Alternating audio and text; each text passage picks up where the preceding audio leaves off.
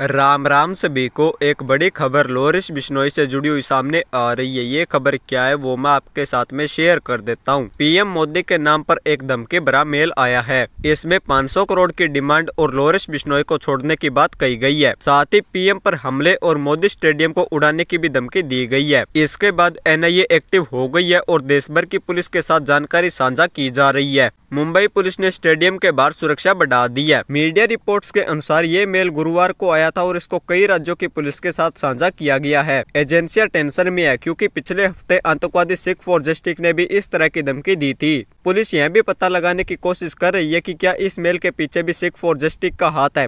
दो हफ़्ते पहले कनाडा के अंदर एक गैंगस्टर की हत्या हो गई थी और इस गैंगस्टर का नाम था सुखा दुनेके। ये सिख फॉर जस्टिस के साथ जुड़ा हुआ था।